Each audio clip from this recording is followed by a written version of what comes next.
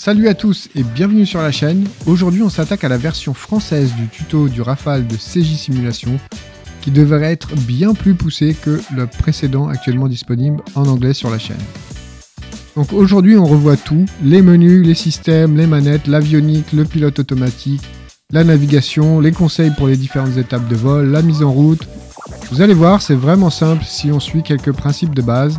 Et j'en profite pour rappeler que ce n'est pas une copie complète du Dassault Rafale. Allez, on commence par un tour complet du cockpit avec la partie gauche de haut en bas. Si cette partie ne vous intéresse pas, la vidéo sera chapitrée pour aller directement à l'info que vous cherchez. On a ici la molette de réglage de l'intensité de l'affichage de la VTH, les indicateurs avec l'alerte de collision, le témoin du pilote automatique et l'indicateur d'angle d'attaque sur la version M, qui reprend, si je ne dis pas de bêtises, les optiques d'appontage des porte-avions, le fameux meatball.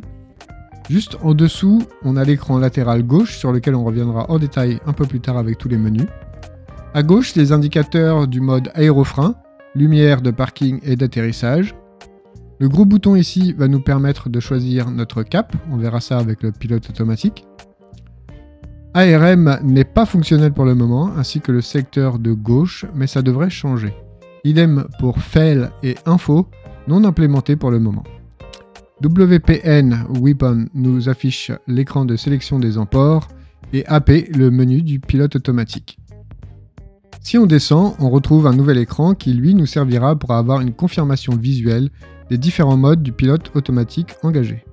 En dessous se trouve pour le CJS Rafale une sélection de modes système en fonction des emports. Si on l'active, les systèmes brident l'avion en facteur de charge. Il y a la même chose en vrai, mais il me semble que c'est automatique, et en tout cas ce n'est pas pareil qu'ici. Le bouton Refuel va, comme son nom l'indique, nous permettre de faire un ravitaillement. Je crois que là aussi, il y a des petits ajustements qui vont être faits. Ensuite, nous avons la section qui gère le démarrage de l'APU, le groupe auxiliaire de puissance en français, un APU de type euh, Ruby 3, si toutefois j'ai fait correctement mes recherches sur le site de Safran, et des moteurs. On revient dessus en détail avec le démarrage. Sur la manette des gaz, on retrouve le switch du mode aérofrein, je dis bien mode parce que les canards ne sont pas des aérofreins, et le bouton de sélection des lumières. On continue notre progression vers l'arrière avec un grand panneau ici et 13 commandes qui nous intéressent. Les feux de position, les feux de navigation, les feux de vol en formation, surtout utiles la nuit, un à l'avant, deux à l'arrière, ce qui forme un triangle qui permet au pilote d'avoir une idée de la position de l'autre appareil le switch pour la lumière du cockpit jour-nuit, le sélecteur d'intensité lumineuse pour les instruments, le sélecteur d'intensité lumineuse pour le cockpit, le bouton de réglage du pitch, du tangage et du lacet. Ce bouton carré ici va permettre de réinitialiser toutes nos valeurs, donc ne l'oubliez pas si vous avez modifié quelque chose. Pour finir, on a le bouton de volume de la radio 1 et 2 et l'intercom. On arrive à la dernière partie du côté gauche avec les fusibles. Honnêtement, je n'y ai jamais touché, mais jetons un œil.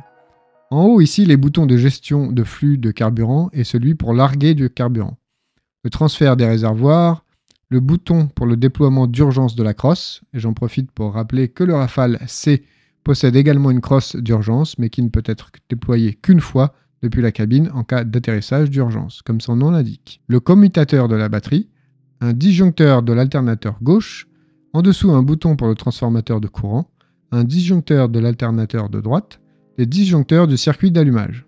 Et voilà pour cette première partie, on passe maintenant au côté droit. Alors, ici, ici, les trois premiers voyants concernent les moteurs et le groupe auxiliaire de puissance.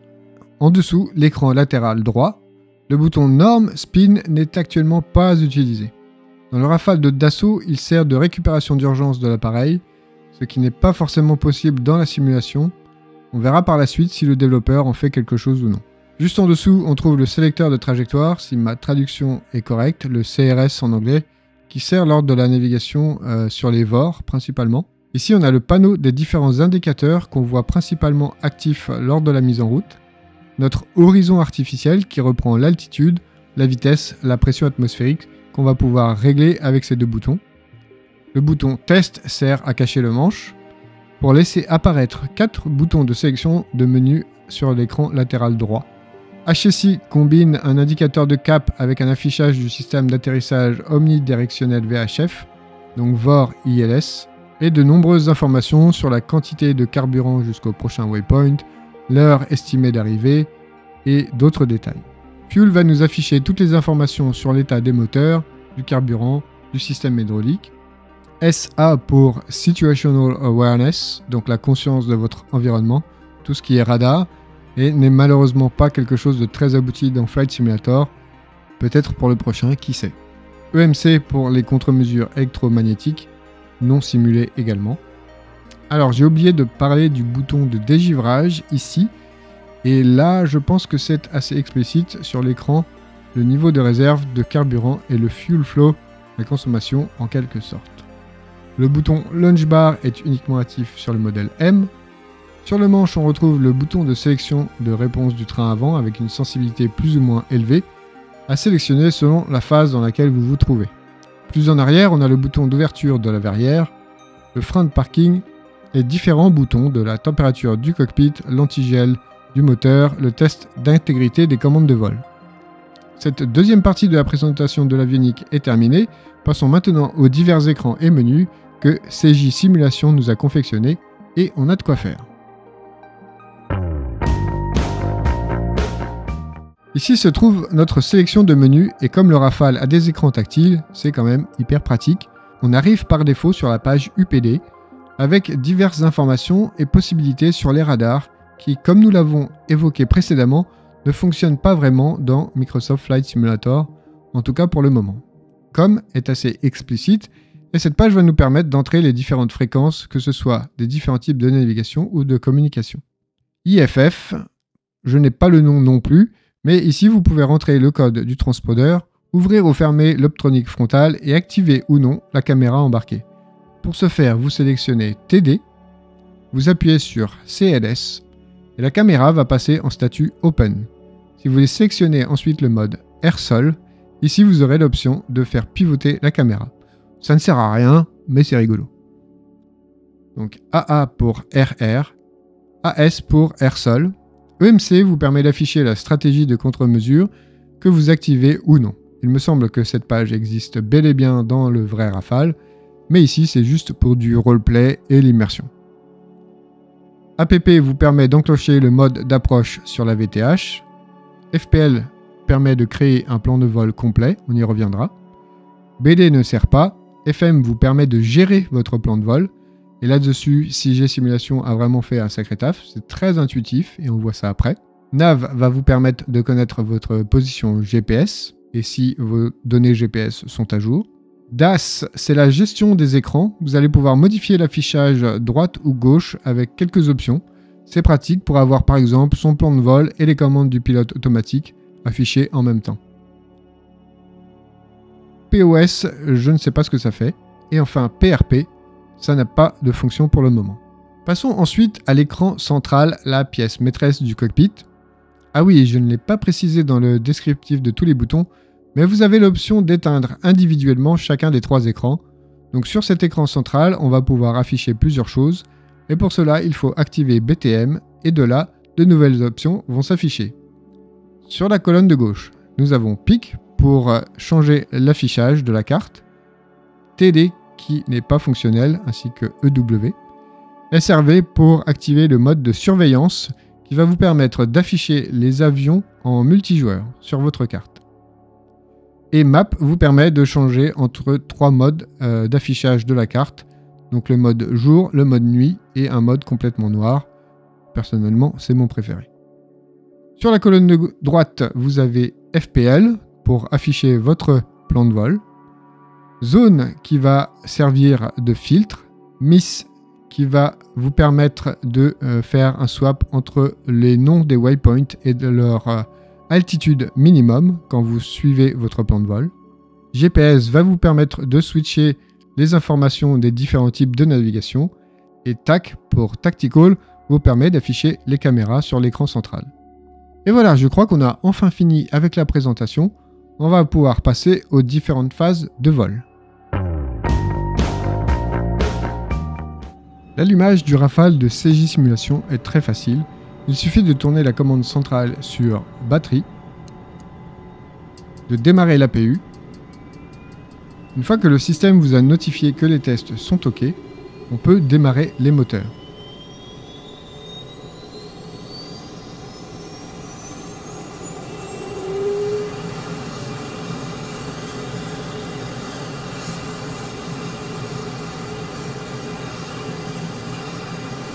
Engine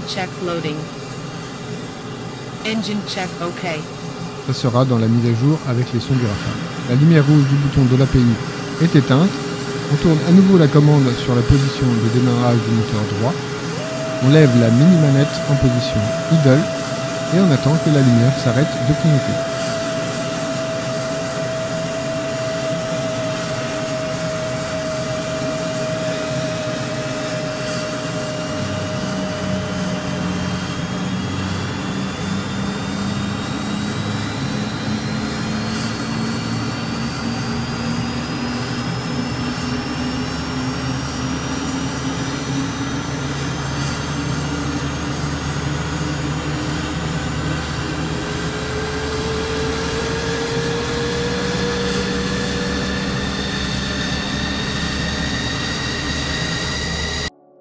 On répète l'opération sur le moteur gauche et à la fin, on les place tous en position norme. La position fixe que l'on voit en haut ici, on m'a posé la question dans un stream et je me suis renseigné, c'est pour bloquer un moteur par exemple à 80% de puissance, tandis que l'autre va continuer à être géré par le pilote. Apparemment, c'est très utile en cas de panne ou en cas de ravitaillement en vol. Malheureusement, ce n'est pas si facile à implémenter dans la simulation et donc la fonction est purement esthétique ici. Une fois qu'on a démarré notre avion, est-ce qu'on n'en profiterait pas pour créer notre plan de vol? Soit vous le créez depuis la carte avant de monter dans l'avion et il sera chargé automatiquement. Soit vous le créez depuis le menu du Rafale. Donc pour cet exemple, on se trouve à Nice et je veux aller atterrir à Rodez. Notez que ce sont deux aéroports civils, mais vous choisissez ceux que vous voulez en fonction des add-ons que vous avez parce que malheureusement, il n'y a pas de base militaire par défaut, en France en tout cas, dans Flight Simulator. D'ailleurs, dites-moi dans les commentaires si ça vous intéresse que je fasse euh, des tests des bases que je possède. J'en ai une bonne dizaine, je pense. Donc pour créer le plan de vol depuis l'ordinateur de bord, on se met sur FPL et on doit commencer par choisir un point de départ, un point d'origine et notre destination. Pour ça, il y a deux méthodes. Soit vous entrez votre position GPS et l'ordinateur trouvera l'aéroport correspondant, ici avec la touche INS et Set Waypoint. Soit vous entrez le code OACI et vous faites Set Waypoint. Il indique qu'il y en a plusieurs, mais vous n'en tenez pas compte. Vous entrez votre code et c'est bon. Si vous avez un plan de vol avec SimBrief, vous pouvez aussi ajouter vos différents points de vol depuis ce menu. Sinon, une fois que vous avez votre origine et votre arrivée, on peut configurer le plan de vol et pour ça, il faut aller dans le menu FM Flight Management. Ici, vous pouvez configurer votre départ, votre approche et n'oubliez pas de les activer en appuyant sur Load. Vous pouvez ensuite contrôler que tout est bon via FPL. On peut également changer à tout moment les paramètres des différents points de vol simplement en cliquant dessus, changer l'altitude, les supprimer, choisir de voler directement à un point plutôt qu'à un autre,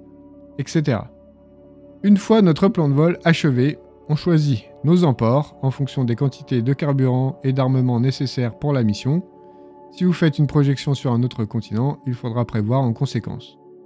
On peut aussi préparer le pilote automatique si vous voulez vous en servir. Ici, on va dire qu'on a une altitude de croisière qui sera de 20 000 pieds.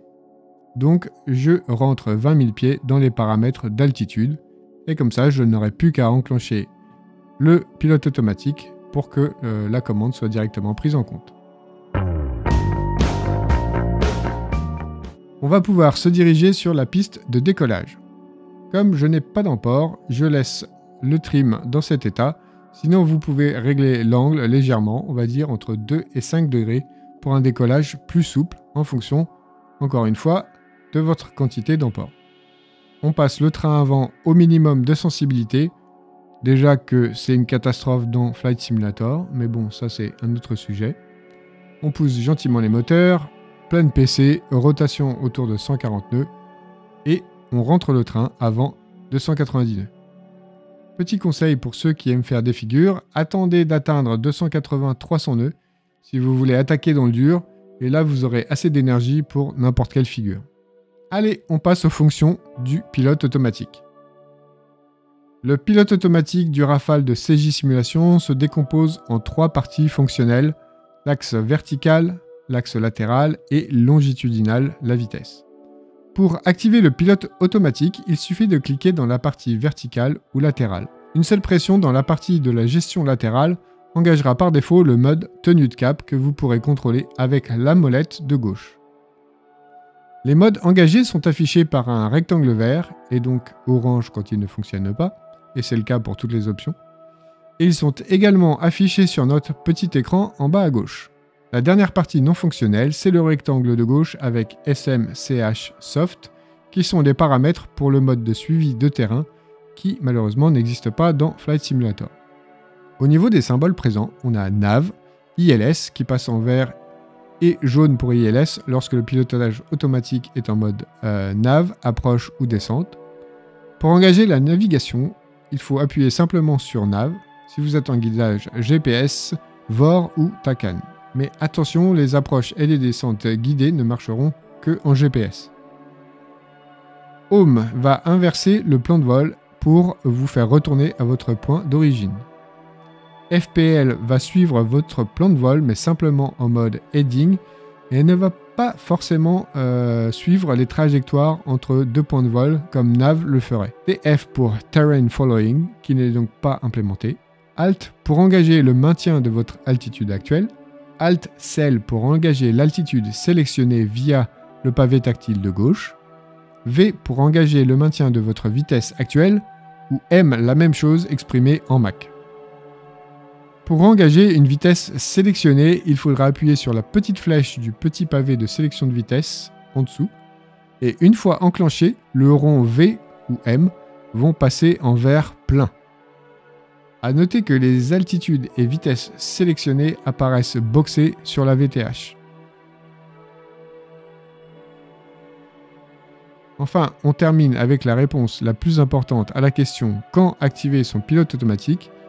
Eh bien, il faut s'assurer que votre appareil soit dans un état relativement stable pour l'activer, moins de 5 degrés d'angle, sinon il sera engagé mais ne fonctionnera pas immédiatement.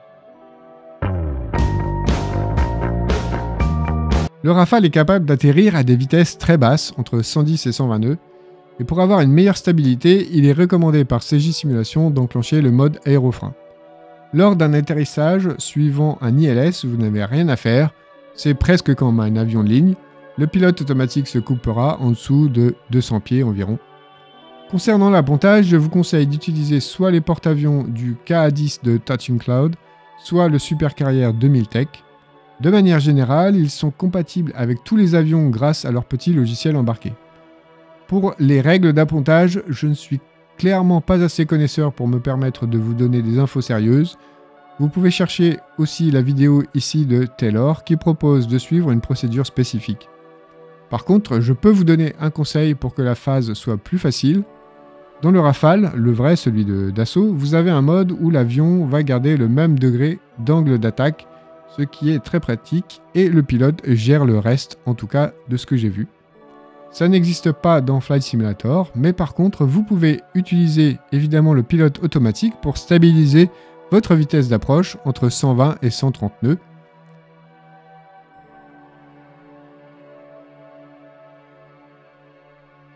et vous gérez l'angle d'attaque vous-même avec le mode aérofrein bien entendu, et vous allez voir, ça facilite déjà pas mal la vie.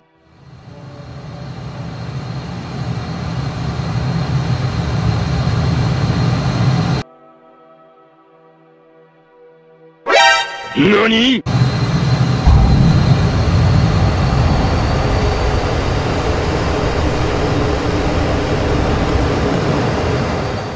Et voilà pour notre tuto du Rafale.